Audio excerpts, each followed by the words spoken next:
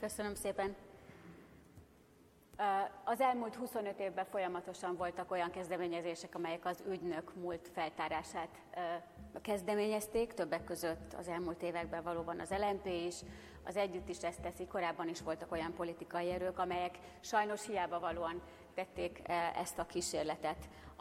Az ügynök múlt, a titkosszolgálati akták titkossága a mai napig és hosszú jövőig is képes arra, hogy mérgezze a magyar politikai közéletet, ezért nem lehet abba hagyni azt az erőfeszítést, hogy folyamatosan törekedjünk a nyilvánosságra.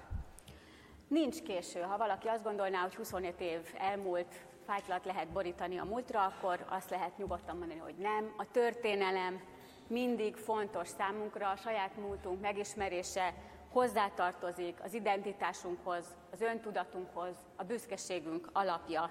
A történelmi igazságértétel soha nem évül el, ezért a mai nap ugyanolyan aktuális az ügynökakták nyilvánosságát követelni, mint 5, 10, 15 vagy 20 évvel ezelőtt. Azt gondolom, hogy az a dolga a magyar parlamentnek, a fideszes többségnek, hogy ne leplezze a antikommunizmussal, azt a antikommunista szöveggel azt, hogy valójában hajthatatlan, valójában képtelen szembenézni a múlttal, valójában nem akarja megmutatni, hogy ők maguk ebbe a mai formába kicsodák.